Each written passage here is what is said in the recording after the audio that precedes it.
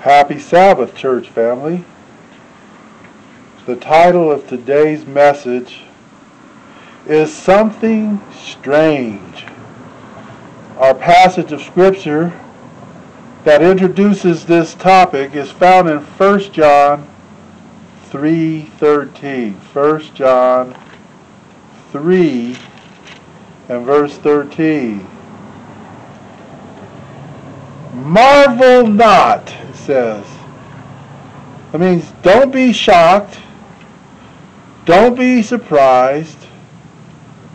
Marvel not, my brothers and sisters, if the world hates you. Don't be surprised. Don't be shocked. Marvel not if the world hates you.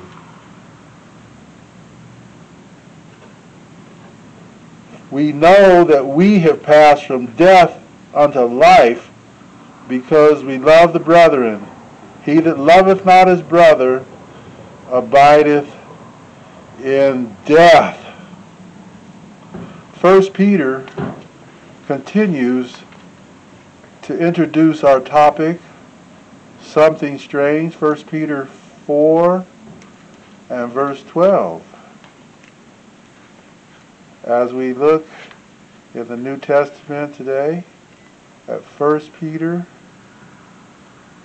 chapter 4 and verse 12,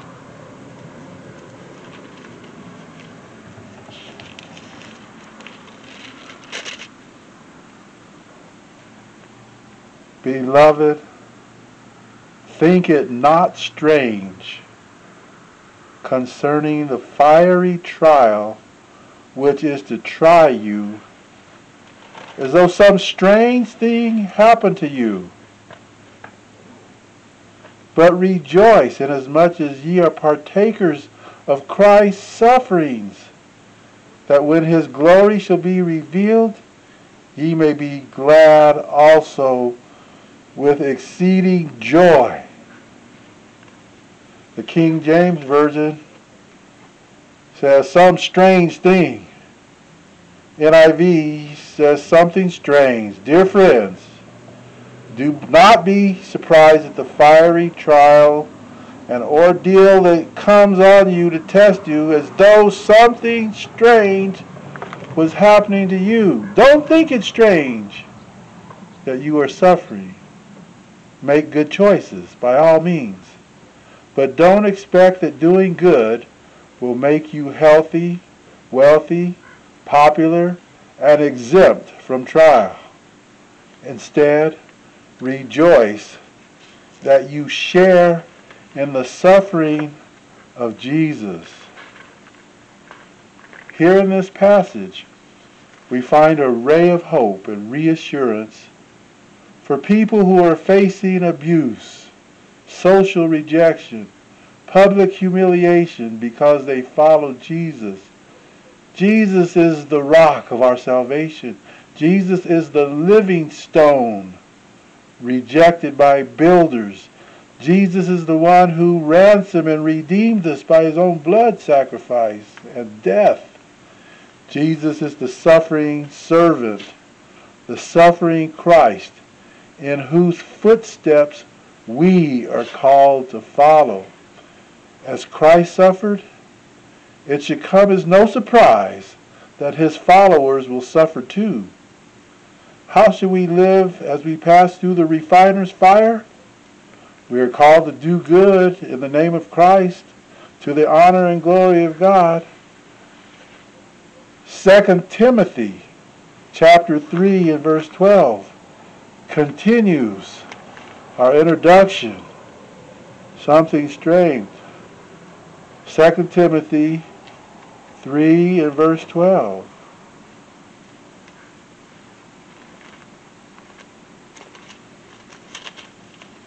Here's how it reads.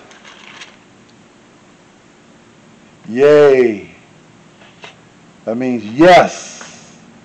And all that will live godly in Christ shall suffer persecution. All that will live godly in Christ shall suffer persecution. Psalm 34:19 says that afflictions are many. Don't be surprised. Don't you know that in the sight of God you are very special? And special people ought to act special. If you have been redeemed, you ought to act redeemed. This is the will of God. God expects certain things of us. Don't be surprised. God wants us to be special. Don't be surprised. God is carving out a kingdom down here that will be transferred up there and returned down here.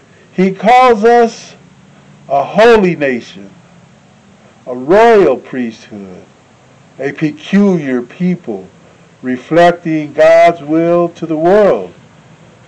It is the will of God that we reflect kindness and unity and faith and obedience and love to the world around us.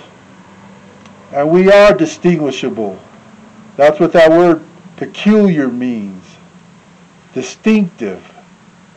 It is not our similarities with the world that attracts them to the message. It is the differences. There's something about the character of the remnant people that attracts. It creates interest and curiosity, and some will be satisfied with the answers they find. The world is filling up with prophets for profit, religious hustlers, spiritual racketeers, there often comes with them a theological concept of prosperity. God never said, if you pray, I'll dump a thousand dollars on you. Jesus didn't do that for himself or his disciples. These distractions belittle the awesome plan of redemption, sealed by the blood of the Son of God. God expects somebody to be peculiar. He expects somebody in this church to be different, distinctive, while still being friendly and sweet and kind and helpful and honest and loving and humble. That's what God expects. Don't be surprised. A peculiar man is peculiar if he loves his wife and goes home to her at night, every night. That's peculiar nowadays. The world is looking for peculiar people, a place whose people are patient with their faith solid in the Word of God. Faith solid in the Word of God. Don't be shocked. They're looking for people refined and purified by fire. Don't be surprised.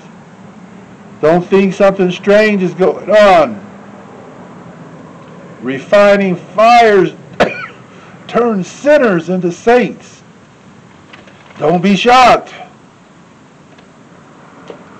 It changes how a person thinks.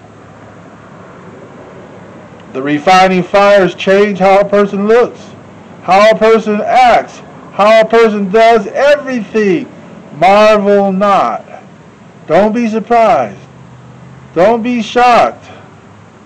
One cannot follow the Word of God without that word producing change. Why are we surprised? By beholding Jesus, we become changed. Don't you know Jesus is praying for us to make it? This produces change. God is getting us ready for a flawless society.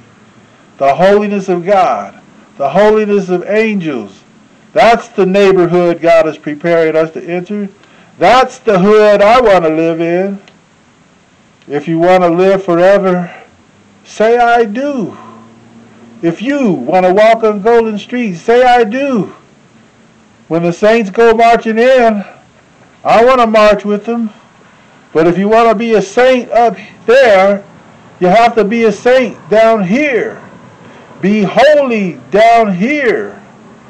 Christ felt forsaken in the garden. Christ felt forsaken on the cross. and we must suffer for the sake of Christ. I have decided to follow Jesus. I have decided to follow Jesus. No turning back. No turning back. I gave my heart to Jesus. How about you? I gave my heart to Jesus. How about you? I asked him to come in and to take away my sin. I gave my heart to Jesus.